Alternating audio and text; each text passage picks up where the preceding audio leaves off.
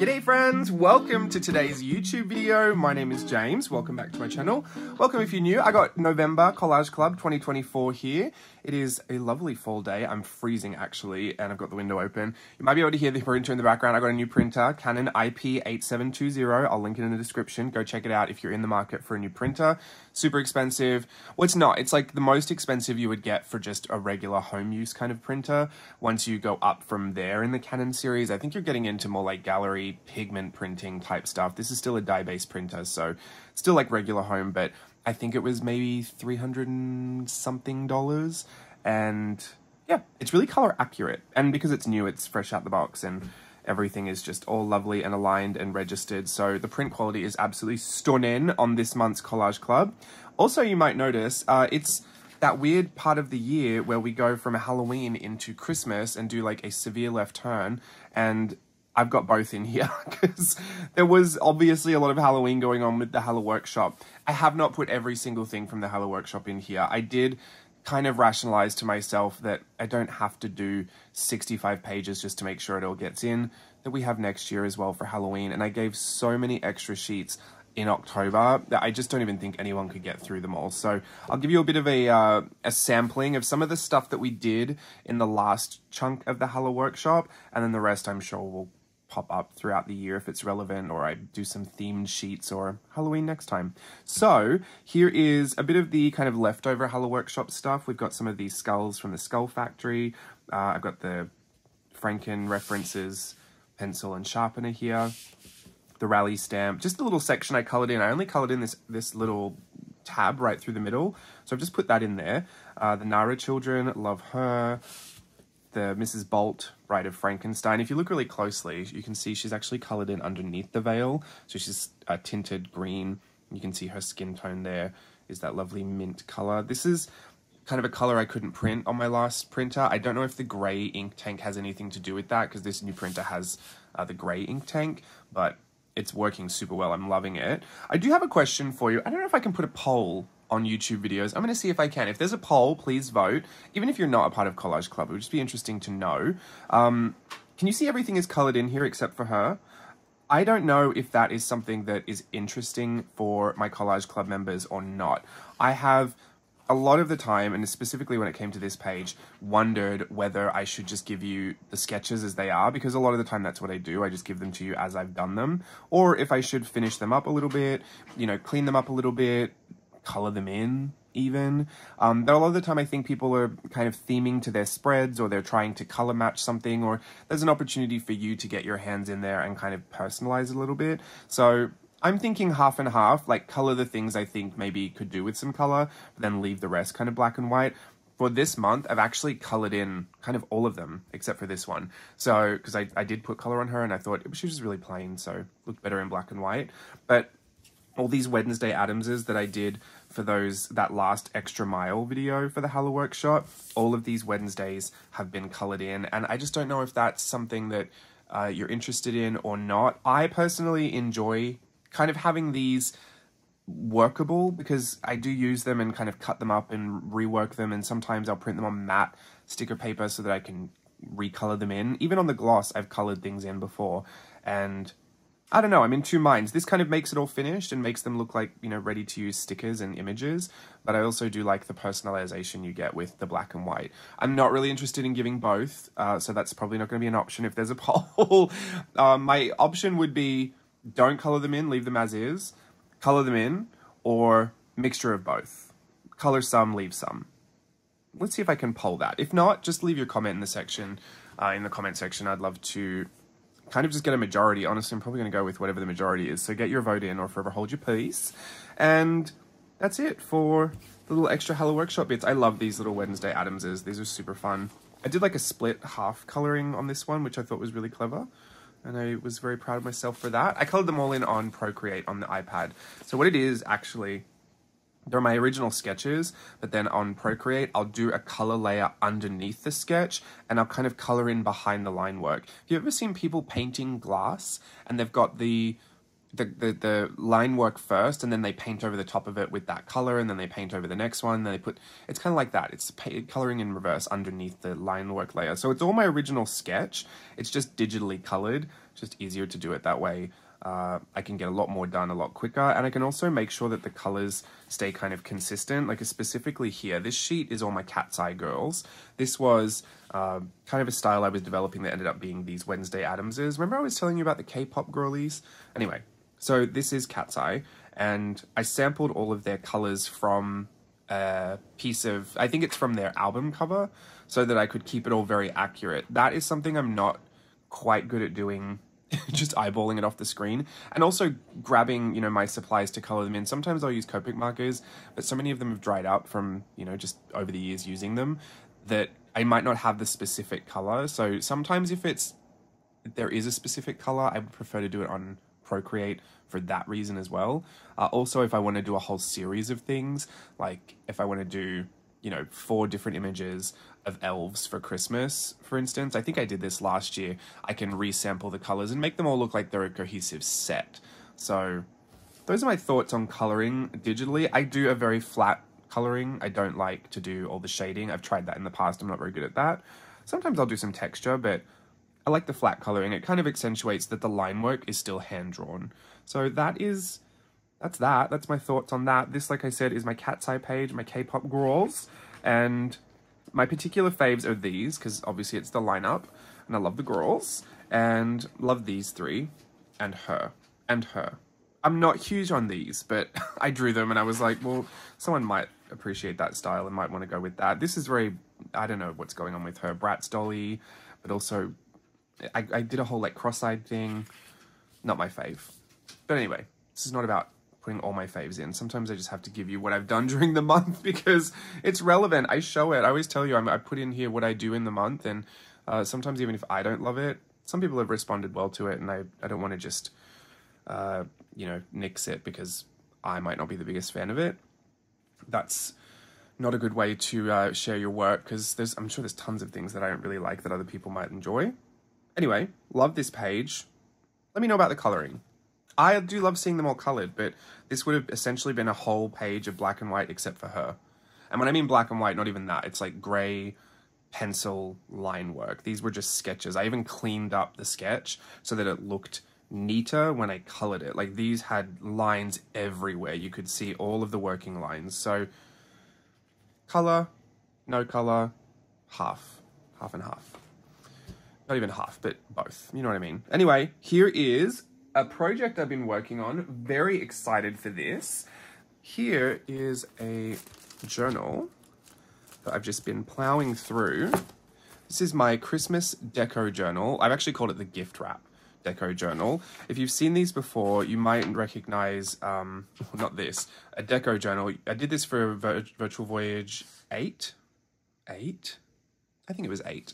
Uh, where I already had the the journal pre-decorated. So it was a US letter size journal, which is this size, the size that the sheets are, and all of the pages were like black and white and mixed media and really really fun. I think I even did a video of how I made that.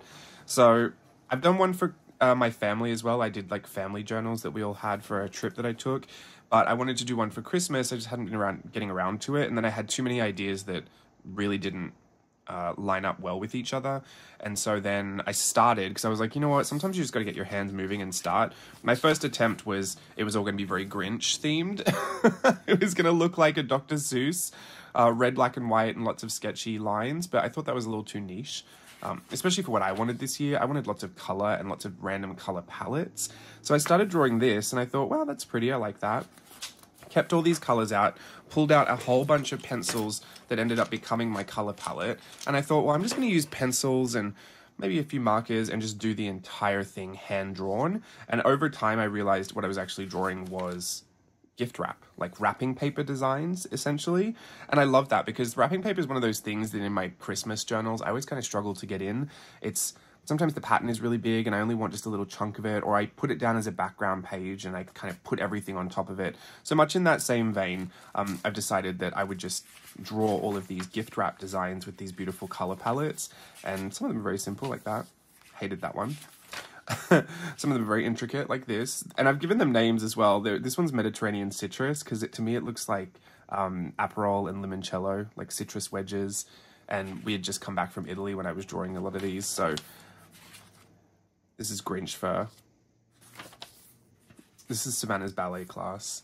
A lot of them, I mean, I was just inspired by things that happened that day. My sister sent me pictures of Savannah at ballet, and I thought, oh, that's so cute. I'm going to draw all these bows. So it's it's very personal. They're all hand drawn. I've actually done them half size, but I scan them at 600 DPI so that I could get tons of information and blow them up into US letter size pages.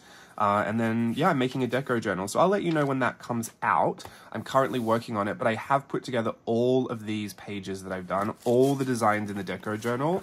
Uh, well, as they are now. I don't think I'm going to change any, uh, but I've put them all here on these US letter size sheets. So this page has 15 of them, I think. One, two, three, four, five. Yep, 15.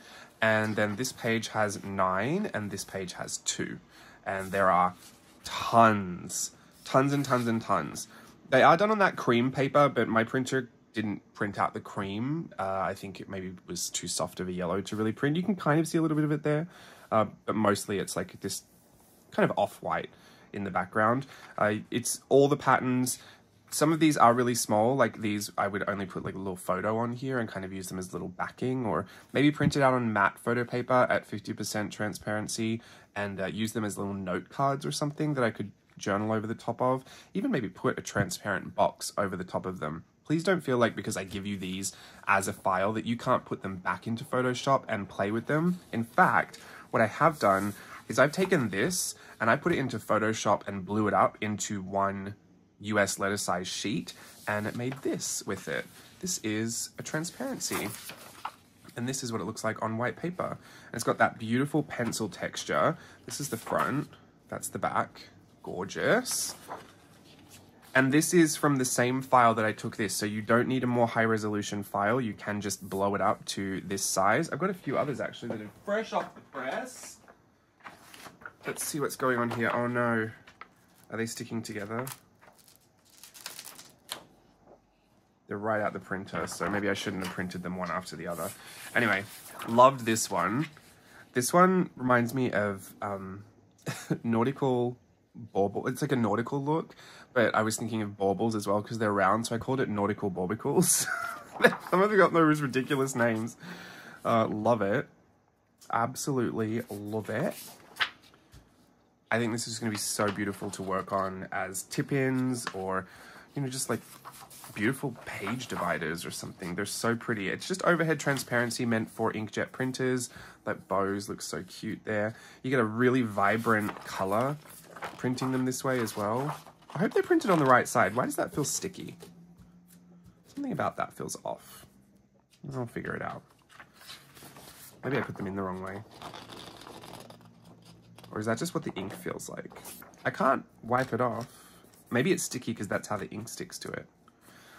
I'll be honest, this is the first day I've used these and they were printing out as I started filming. So I was like, well, jury's out on whether it'll work or not.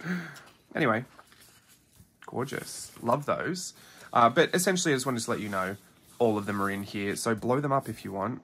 I used this section here and uh, put that on a US letter size page to get those four on the transparency. These two, I kind of went with my favorite designs, like these were some of my faves, so that's why you get the big half page. They're US letter size, so they don't both fit a full frame on the sheet, so I've given you a little strip down here. You can make a little washi tape strip, or just use those as even smaller squares. This, uh, this is like Australian wattle these were my most my most unused colors when I pulled out my palette. These were, well, I don't want to say unused. They were the tallest pencils in the bunch. You might be able to see here. These pencils all sit like this, and I decided to pull out the pencils that were the tallest because I felt like if they're the tallest, then they were the least used pencils. Um, the kind of forgotten pencils. I felt sad for them. So anyway, I used that to make this beautiful stripe pattern. These remind me of my sister. She loves these like earth tones. So these are my sister's earth tone uh, baubles. They also remind me of string lights. You know the baubles that had the string wound around them because I did that sc uh, scratchy thing. Then Australian flowers. These were more wattle, but I didn't look at a picture of wattle when I drew them, so I don't know what they are really. Ribbons, obviously love ribbons. This, if you look really closely, uh, has an accidental Mount Fuji with that red sun and that triangle mountain. So this is my Japanese one. Barbie Tartan. Obviously the candy cane. Grinch Bling. cookie cutter. Christmas cookie cutter, which was really funny because my favorite line and KATSEYE, I don't know if you know that I'm really a big KATSEYE fan now. Uh, Megan, this one with the orange hair. Megan sings I Don't Need No Cookie Cutter, Perfect Ordinary, and she just really emphasizes the cookie cutter. And so I've been thinking of cookie cutter the whole time. And I made this template and then did these. What I love about them is they're all hand drawn. So they just have that, like they already feel very personal to me. They took me forever, um, but they are wonky. They're off. The color is, you know, all very interesting color palettes. They are meant to be in the background. Nothing is so precious that you can't feel like you can cover it up and put your photos on it, put your notepads on it, your sticky notes, uh, you know, put your ephemera on top of it, put an envelope on top of it. Like, it's a big pattern. When you really think about it, like, this is the size of the sheet in the book. Like, in the, in the journal, this will be the size of the sheet. So if I wanted to put a whole bunch of photos on there, like I do have here, just, I have a few different photos. Like I want to put a photo up here, I can put that there. If I want to put a couple of photos down here, I can put it over here, maybe a bigger piece over here. You still get the whole image in the background kind of peeking through, but there's plenty of space to be able to work with. So um, this is not an ad for a deco journal, but I do just want to let you know uh, that if you want to get some of these sheets bigger, just go into the file and enlarge them as well. I'm not quite sure how big these ones will enlarge, but um, you could you can go for it. I'm sure that at least get to half size US letter. But yeah, I'm currently working on putting that together. So for now, those are just Collage Club special pieces. And those are the five sheets. We've got that mix between Halloween and Christmas. We're right in the middle of it. And I hope you have a lovely time with all of these. I think these are, if you print them out full size, this is not helpful for Australians because you use you uh, A4. Yeah, these are about two by three inch, I feel, on the smallest end. And then these are three and a half inch by three inch ish. And these are almost, yeah, seven by five and a half. So some good real estate there to still use them as backing uh, for your journals. And then we've got our beautiful imagery here, all colored in. Very colorful month. Uh, that is everything for Collage Club. I hope to see you over there and uh, using all of your goodies. Obviously, I'll be putting a lot of Christmas into December since uh, that's what I celebrate. And I'm going to try and work on that Advent. I have had that note there. Remember I said, remind me of that Advent when December rolls around. I've had that note over there for as long as I've said that, for like months now, I think. Was it months? I think it was September when I, I wrote that. So I'm going to try and work on that. I'm really excited because I'm getting back into rehearsals on Monday, and that is just going to be super exciting to be singing and dancing Christmas again. Love it. And that's it. That's all I have to share with you today. I'll leave links to things in the description box below, including this transparency paper. I can't recommend it because honestly I don't know how it's going to work yet. It does, it doesn't feel as sticky there. Maybe it's just the ink drying or something. Yeah, that one feels stickier. um, but I'll leave it there just in case you want to have a look too. And my new printer. Don't feel obliged to buy anything from any link that I share. They're just affiliate links, uh, but just to show you what I'm using. You can probably always go and find it cheaper somewhere else, but I just want to make sure that you know. And then I'll see you around, hopefully, for some videos here on YouTube. Now that the Hello Workshop's done, I really feel like I'm only going to see you once a week or I hope you enjoyed the extra videos through October as well. I know that the extra mile wasn't doing very well, so I felt like people wanted to see something else. So I hope you enjoyed the other videos that I put out. Um, but I also will be working on Merry Mixed Media. We do that every year. I'm very excited about that too. I want my deco journal for that, so I really need to hurry along and do it so I can order it. I'm making it hardcover as well. I'll probably have a soft cover version because hardcover is expensive, but I want the hardcover. And then what else? I think that's it. That's all I can remember. But I will see you around, surely, very soon because I've got to flip my Hello Workshop journal as well. I'll put this up today. Um, we'll see when I can flip that journal for you. And yeah, let's get right into Christmas or the holidays, whatever you celebrate. I celebrate Christmas, so I go real nuts for Christmas. It's my favorite time of year. I've already watched my first Christmas movie. so excited. Let me get all the Christmas stuff up too. Uh, yeah, see you around. Have fun. Bye.